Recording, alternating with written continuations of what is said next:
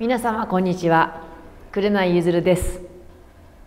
あのよく男役が対談してこう普通の女性に戻らなければならない時にどうしたらいいか分からなくなるというお話をよく聞くんですけれどもまさにその通りで今どうしたらいいかよく分からない状況です。でもまあこの模索してる感じが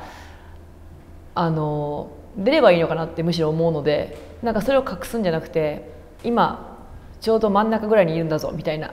男と女の真ん中ぐらいを行ってるんだぞみたいな感じでいこうかなっていう感じではあります。えー、コンサートとしてというよりは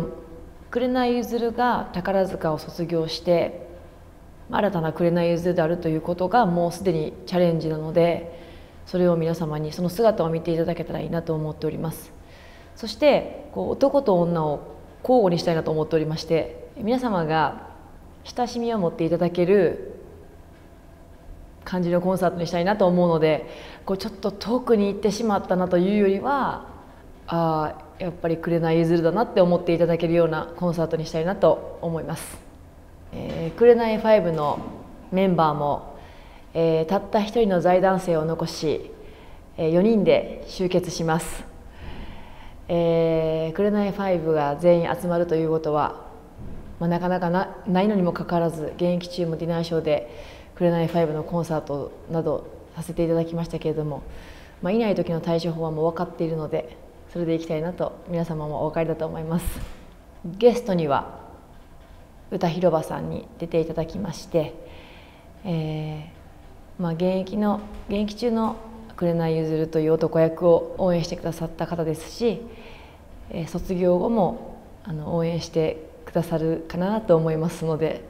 そして皆様に私のなんだかこのよくわからないキャラクターを引き出していただけたらなと思いますので歌平場さんにもそれをお手伝いいただけたらなと思いましてオファーさせていただきました。まあ、宝ジーヌだった時はかなり異色の生徒だったと思うんです。なんですけれどもなんかこの私の持ってる持ち味というものを最大限に生かせるものがしたいなと思っております。そして宝塚以外の世界をまだ全然知らないのでなんかそこでいろいろなものが生まれてくるものを生かしながら「紅譲る」という色を出せて出していけるものがしたいなと思っております。皆様ぜひぜひ損はさせませんのでいらしてください。そして、えー、男役以外の私を見ていただけたらなと思いますし宝塚化粧以外の化粧で足すということは今までないのでそれもとても新鮮に見ていただけるかなと思いますし私自身もその新鮮さを楽しみながら皆様にも楽しんでいただいてそういう空気感がいっぱい出てるコンサートだったらいいなと思っておりますので皆様ぜひいらしてください。皆様ぜひ劇場までお越しくださいお待ちしております